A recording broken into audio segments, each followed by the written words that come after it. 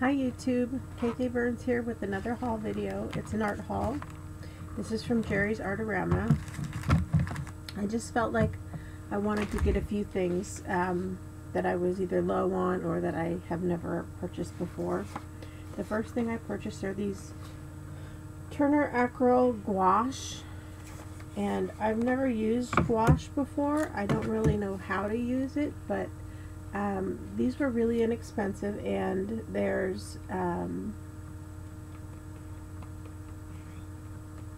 12 tubes and they're rather large. I'm surprised at how large they are um, for the price. So that's my gouache.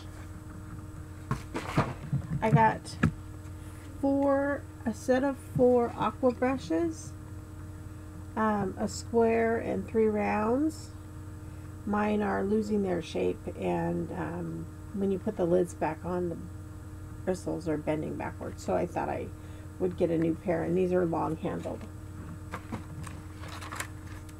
I got dual brush pens by Tombow and um, I've never used these before. They look like they're going to be good. There's a blender here, so I'm going to give those a try. Kind of excited about that. I got three white erasers for my drawings. I draw on watercolor paper and this erases best on watercolor paper. I got some foam brushes um, to use with um, Mod Podge. Just a package of six one inch foam brushes. I got this slanted San Francisco palette to use with my gouache.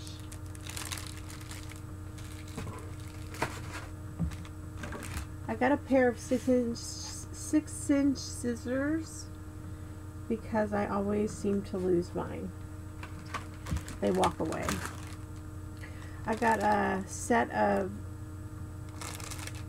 masking fluid brushes. There's a set of 10. I'd like to use more masking fluid in my watercolors and I have it. Um, so I'm going to go ahead and give it a try. And I got a Value Line Chungking Bristle Brush Set.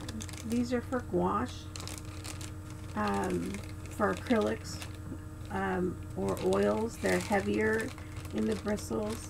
And they're longer handled brushes, which I prefer a short handled brush, but these were really inexpensive for this set at Jerry's. I got some blending stumps for my drawing. I just got some uh, charcoal pencils for Christmas, so I'll be using those blending stumps. And the last thing I got was a sandpaper pad. And that's all I have for you today. So thank you for watching. Please like my video and I hope you have a great day.